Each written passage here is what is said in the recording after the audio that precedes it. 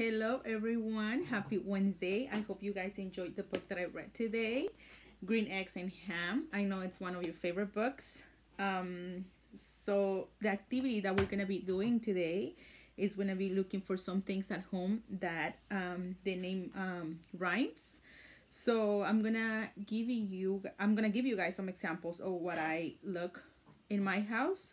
So some the th- some of the things that I found it's a book and hook. So I found two things right here and I found another one which is number 10 and pen. 10 and pen. Listen listen to the sounds.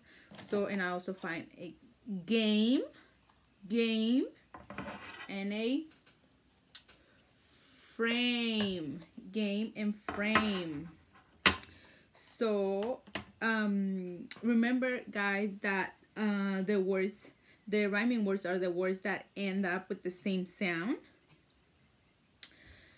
Um another words that another examples of, of words that rhymes that i have for you guys it for example are bat and cat.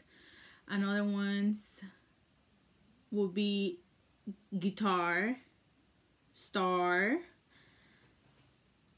ice, rice, um, nail, tail.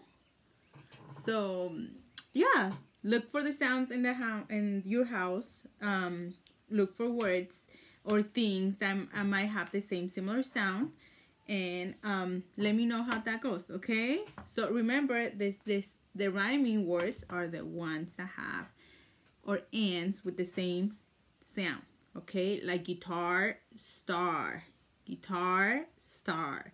The other ones it's game frame game frame. The other one is hook and book hook and book all right? Well i hope you guys enjoyed this activity. See you guys next time